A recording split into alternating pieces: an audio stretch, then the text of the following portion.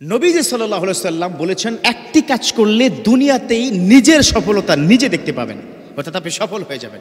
কথা ক্লিয়ার যে একটি কাজ আপনি করবেন, আশ্চর্য হয়ে যাবেন, সফলতা কেনা হতে চায়। হ্যাঁ যুবক, সফল হতে চাও? আজকে যেটা বলব সেটা করো। বিশ্বনবীর কথা। বিশ্বনবী তিনি বলে দিয়েছেন, স্পষ্ট কথা, হুমা জান্নাতু কানারুক এমন দুজন ব্যক্তি আছে, তাদের সাথে তুমি যদি ভালো আচরণ করো, সুন্দর আচরণ করো তোমাকে রব্বুল আলামিন জান্নাত দান করবেন। এমন দুজন ব্যক্তি আছে, তাদের সাথে যদি তুমি খারাপ আচরণ করো, তুমি যত বড় হাজি হও, যত বড় আলেম হও, যত বড় সায়েন্টিস্ট হও, যত বড় ইঞ্জিনিয়ার হও, যত বড় প্রেসিডেন্ট হও, আল্লাহর কাছে কিচ্ছু যায় আসে না। তোমার স্থানটা হবে ওই জাহান্নাম।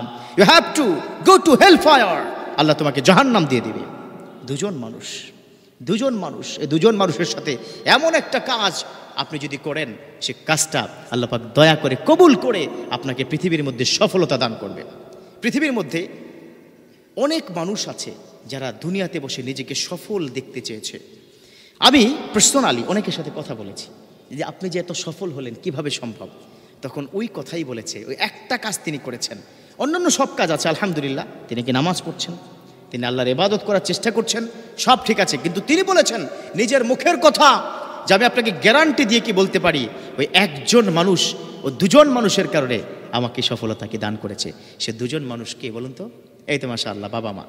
এই যুবক, বাবা মা if you serve your parents almighty will give you the success তোমাকে আল্লাহ পাক সফলতা দান করবে, তুমি তার যদি সেবা করতে পারো।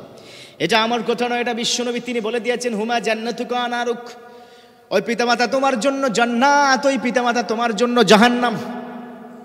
বিশ্বনবী অন্য জায়গায় বলে দিয়েছেন রেদর রব্বি ফি রেদাল ওয়ালিদ, সাখাতার রব্বি ফি সাখাতাল ওয়ালিদ। পিতামাতার যদি তুমি সেবা করতে পারো, পিতামাতা যদি সন্তুষ্ট হয়ে যায়, রব্বুল আলামিন তিনি সন্তুষ্ট হয়ে যাবে।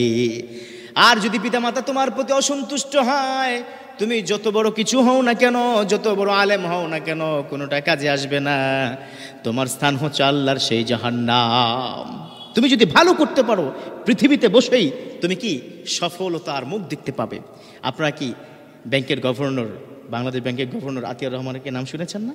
হ্যাঁ হ্যাঁ এই তো। টাকার মধ্যে দেখবেন, তার সিগনেচার আছে। তিনি তার জীবনে থেকে বলেছেন? যে আমার সেই সফলতার কোনো কারণ নাই, একটাই কারণ আমার মায়ের দোয়া।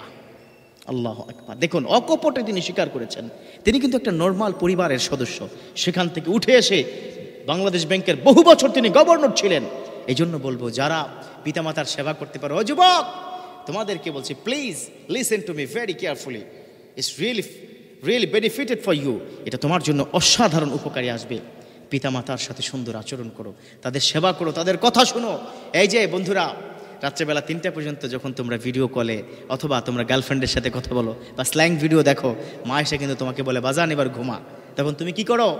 তুমি ধমক দেবো এই, তুমি কি বুঝবা? যাও, তুমি কে ঘুমাও।